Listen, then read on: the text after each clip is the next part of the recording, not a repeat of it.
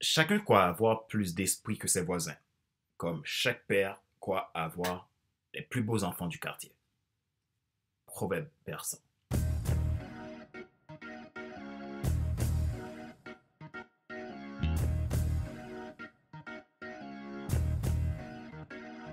Bonjour mesdames, messieurs. Merci d'avoir rejoint le FC Leadership Podcast, le podcast de la semaine destiné à ceux et celles qui en ont assez de subir la vie et qui veulent passer à l'action même s'ils ont peur pour vivre enfin ses rêves. Je suis Fadler Célestin, votre coach professionnel certifié RNCP, consultant formateur, auteur du guide de l'auto-coaching pour sport professionnel et personnel accru et co-auteur du livre Devenir enfin moi, en avant la ressource que tu dois absolument savoir sur toi-même pour enfin sortir du regard des autres et vivre la vie de tes rêves. Nous sommes à l'épisode numéro 99 de la série FC Leadership Podcast. Encore un plaisir pour moi de pouvoir vous servir au travers de ce show. Si vous êtes nouveau à écouter ce podcast et que vous portez un intérêt particulier, vous pouvez vous abonner en cliquant sur le bouton s'abonner sur ma chaîne YouTube et n'oubliez pas d'activer la cloche pour être alerté de tout nouveau contenu. Vous pouvez également vous abonner sur iTunes Store, Google Podcast, Spotify, SoundCloud, Deezer et TuneIn. Ma joie est dans votre réussite, l'action c'est maintenant. Dans cet épisode 99, je rends hommage à mon père.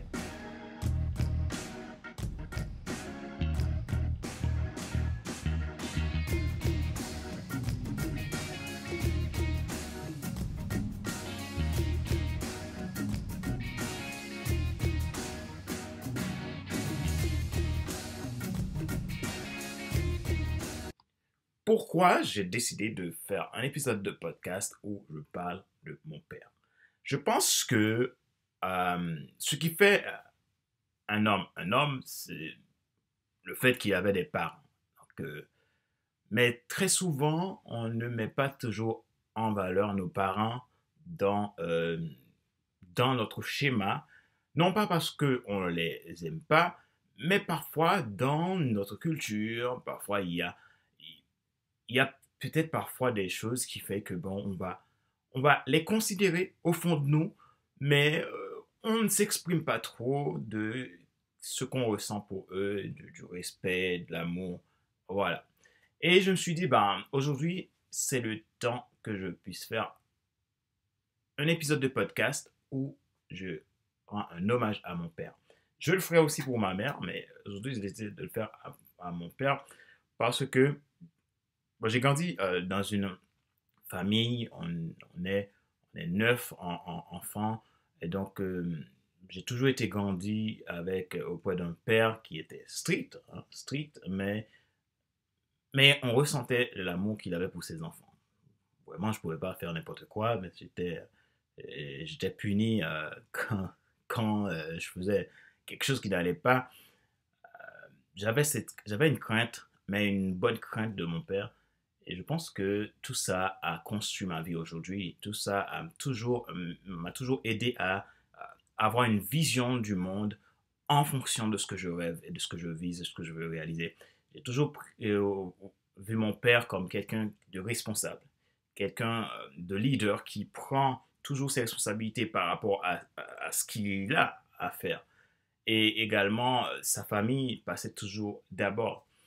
Et tout ça m'a toujours toujours euh, paru euh, extraordinaire parce que je, je, crois que euh, nous avons besoin de repères dans une famille et que ça, mon père l'a toujours été pour nous. Quelqu'un qui, s'engage, quelqu'un qui baisse pas les bras, quelqu'un qui met sa famille avant tout, quelqu'un qui aime ses enfants, même s'il était très strict. Oui, je le dis. Hmm, j'ai toujours ressenti beaucoup d'amour dans ma famille. Donc, j'ai toujours été valorisé. D'ailleurs, tous mes frères et sœurs peuvent le dire. On a toujours été valorisé par nos parents. On a toujours euh, eu de l'encouragement. Euh, peut-être euh, le jour, des carnets, on n'avait pas forcément un, cadeau parce qu'on on nous disait que ben, c'était normal, il fallait travailler à l'école. mais on était très très heureux dans, dans notre famille et cela nous a permis de construire euh, aussi une relation entre frères et sœurs qui a été toujours euh, très, très euh, fusionnelle, très intéressant et très, très engageant. Et donc tout ça, j'ai grandi avec ça et aujourd'hui, si je suis là, si je, continue ce chemin-là, c'est parce que j'ai été euh, porté, conduit par des parents qui voulaient nous inculquer des valeurs, des valeurs très fortes, des valeurs autour de, la Bible, des valeurs autour de, de, de Dieu, donc qui étaient aussi des valeurs de tolérance, de respect des autres, d'amour pour son prochain, de, du fait aussi de, de, mettre l'autre en premier.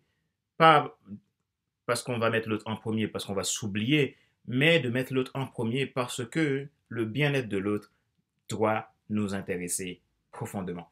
Euh, j'ai grandi comme ça et mon père a été toujours cet exemple pour nous.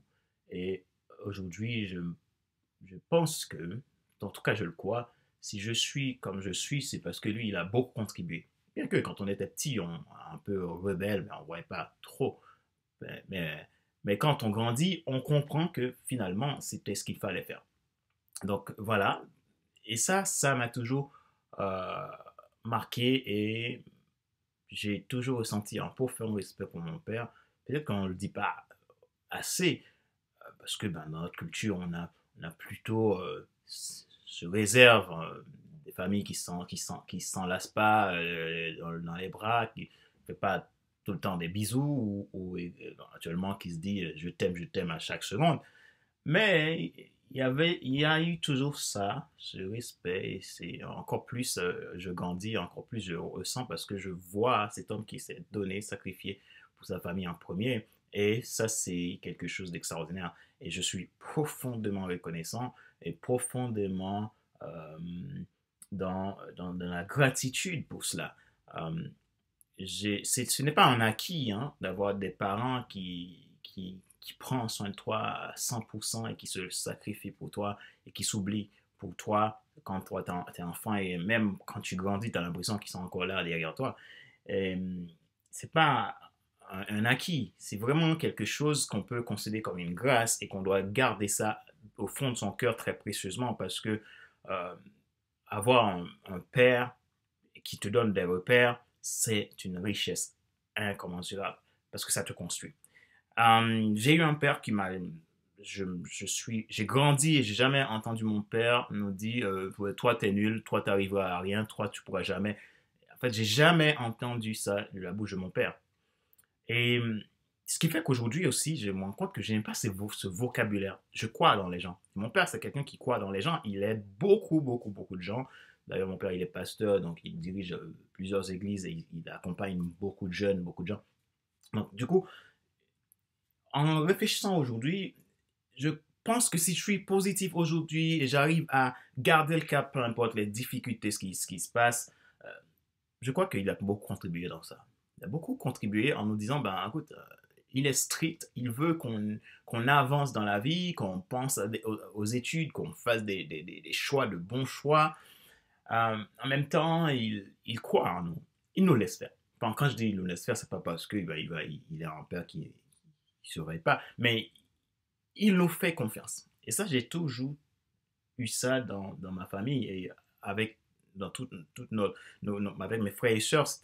C'est toujours quelque chose d'intéressant, d'extraordinaire que j'ai beaucoup admiré.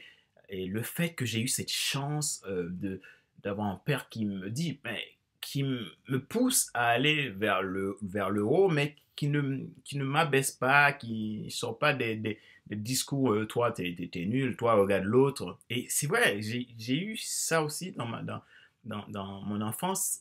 C'est ce côté où chacun a sa place. Chaque enfant a sa place il n'y a pas d'enfant qui est comparé par rapport à l'autre. Et je pense que ça m'a aidé aujourd'hui à avoir cet amour pour l'humain, cet amour pour les gens, cette confiance pour les gens. Et, je pense que ça aussi a contribué à, le développement de mon coaching aussi, euh, cette approche que j'ai pour dire que la personne est capable, la personne a tout le potentiel et, je dois systématiquement le croire. Et peu importe la dimension, peu importe l'analyse que les autres pourraient faire de cette personne, euh, c'est que cette personne est capable et cette personne a euh, ce plein potentiel que je dois l'aider à trouver, à, trouver et exercer euh, pleinement dans sa vie. Euh, donc voilà, aujourd'hui, je me suis dit, ben, cet épisode de podcast va être un épisode de podcast où je rends un hommage à mon père. Donc, je, le rends de son vivant et je continue à le faire. Et si euh, ben, dans, dans, ma culture, on ne dit pas toujours ben, je t'aime, je, t'aime, je t'apprécie, mais c'est toujours, ça a été toujours resté dans le cœur. Et j'ai décidé de briser ça et de, de, faire un épisode spécialement dédié à mon père. Mon père s'appelle Favier Célestin. Um, donc j'aimerais lui dire que vraiment, vraiment j'ai beaucoup d'admiration pour lui et beaucoup de respect. Um, Peut-être que je le montre pas assez, mais j'ai beaucoup, beaucoup de respect, beaucoup d'amour pour mon père, mon père, et je l'aime beaucoup, je t'aime beaucoup, papa. Et merci parce que vraiment tu as été un, modèle pour nous et tu n'as jamais laissé tomber ta famille. Et jusqu'à aujourd'hui, on voit que tu es engagé et tu es à fond dans, euh, dans ça. Tu as, pris en fait cette mission que Dieu t'a donnée de t'occuper de ta famille, la première des choses. Euh, et tout le reste euh, suit. Voilà. En tout cas, cet épisode de podcast, c'était pour vraiment dire à mon père, écoute, je t'aime et merci pour tout ce que tu as fait pour moi. Et merci pour toute la patience que tu as pris parce que j'ai pas été toujours euh, tendre aussi. Je pense que euh, en tant qu'enfant, on n'a pas toujours compris quand les parents voulaient euh, telle chose et nous, on voulait autre chose. Et parfois, on peut être un rebelle ou, peut-être on a envie tous, on a envie tous ben, de partir de la maison et puis voilà, de, de plus en entendre parler. Mais ça, c'était quand on était, quand on était enfant, euh, quand on était ado, plus jeune. C'était une, une, croyance limitante qui, qui, était là. Euh, ça, ça, fait partie aussi de la construction. Et j'ai toujours vu mon, père toujours patient et qui, et qui est là, qui écoute, qui observe. Voilà. Um, merci, merci beaucoup, euh, Papy. Donc, chez nous, dans, dans, dans, dans euh, mon pays, on, en France, on va dire papy, c'est pour les grands-pères, mais chez nous, papy, c'est pour papa. Donc, un papa beaucoup plus affectueux. Euh, donc, voilà. Donc, c'est ce que je voulais aujourd'hui partager dans cet épisode de podcast, dire que ben, j'ai eu un père euh, merveilleux, extraordinaire, et je suis profondément reconnaissant. Et aujourd'hui, dans mon histoire, une nouvelle page s'écrit hein, de mon histoire. Je suis aujourd'hui maintenant père. Euh, je ne sais pas euh, comment, ça va se dérouler à la suite, mais en tout cas, ce que je sais, c'est que je veux être un leader, je veux être un père responsable, responsable, et aussi créer une dynamique pour que mon enfant puisse euh, demain rentrer dans sa destinée et trouver le sens de sa vie. Et comme mon père, il a toujours été euh, celui qui nous aide à trouver notre, sens de notre vie sans nous, bousculer, sans nous imposer quoi que ce soit, mais dans la confiance, dans le respect et puis dans, dans, dans, dans ce, ce, ce, cette observation où, où, on, on est là et on nous, on nous respecte, on nous donne notre place en tant qu'enfant. Et puis, ben, un père qui est prêt à faire tout, ça, tout sacrifice pour nous. Euh, en tout cas, ça m'a beaucoup, beaucoup, beaucoup touché. J'ai grandi en, en observant euh, mon père.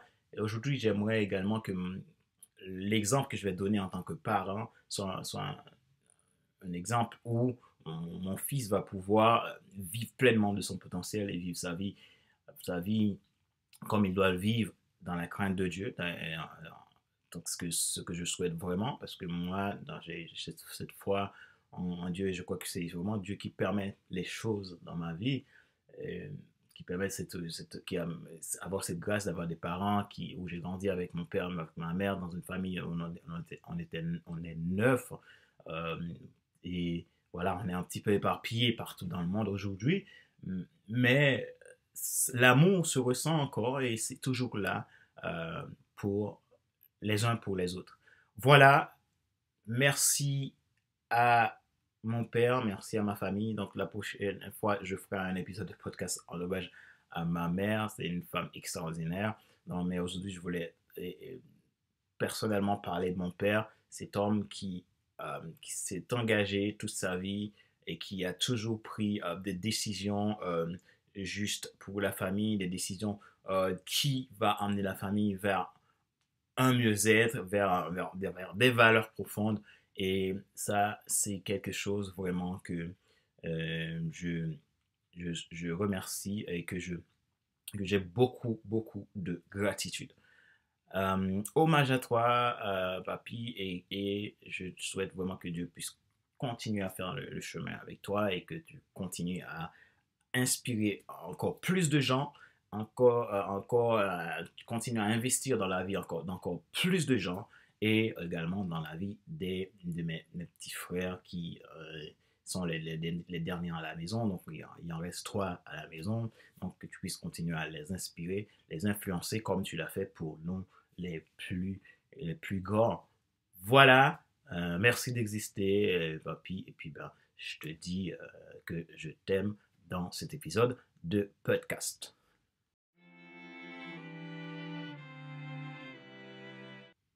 Rappelez-vous qu'il n'est pas nécessaire de tout savoir pour être un grand leader. Soyez vous-même. Les gens préfèrent suivre quelqu'un qui est toujours authentique que celui qui pense avoir toujours raison. Question de réflexion. Voici un exercice que vous pouvez faire pour évoluer dans votre vie de leader. Posez-vous ces questions et répondez-y franchement. Comment voyez-vous vos parents? Quelle importance ont-ils à vos yeux? Si vous êtes parent, qu'est-ce que vous souhaitez inculquer à vos enfants comme valeur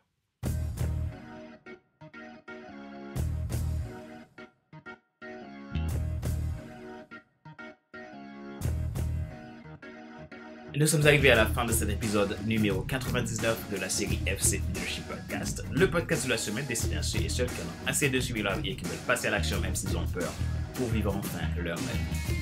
Ce podcast a été présenté par Fadler Célestin, votre coach professionnel certifié, RNCP, consultant formateur, auteur du guide de l'auto-coaching pour l'épanouissement professionnel et personnel accru et co-auteur du livre Devenir enfin moi, en avant vers la haute soit ce que tu dois absolument savoir sur toi-même pour enfin sortir du regard des autres et vivre la vie de tes rêves. Si vous êtes nouveau et que vous portez un intérêt particulier à ce podcast, vous pouvez vous abonner en cliquant sur le bouton s'abonner sur ma chaîne YouTube et n'oubliez pas d'activer la cloche pour être alerté de tout nouveau contenu. Vous pouvez également vous abonner sur iTunes Store, Google Podcast, Spotify, SoundCloud, Deezer et TuneIn. Mon travail consiste à aider les gens à rentrer dans leur destinée, développer leur plein potentiel, vivre de leurs plus grands rêves. J'aide les entreprises, les entrepreneurs, les particuliers à développer leurs projets. Si vous êtes intéressé par un coaching avec moi, si vous pensez que je suis la bonne personne qui peut vous aider à atteindre votre objectif, à trouver en vous-même vos propres ressources pour développer votre propre situation, n'hésitez pas à prendre contact avec moi à contact.fcelestar.com. Vous pouvez également euh, réserver une séance gratuite avec moi depuis mon agenda en ligne que je mettrai dans la description de cet épisode de podcast. Ma joie est dans votre réussite, l'action c'est maintenant. Sur ce, je vous donne rendez-vous à la semaine prochaine pour un autre épisode du même show, le FC Leadership Podcast. Bye bye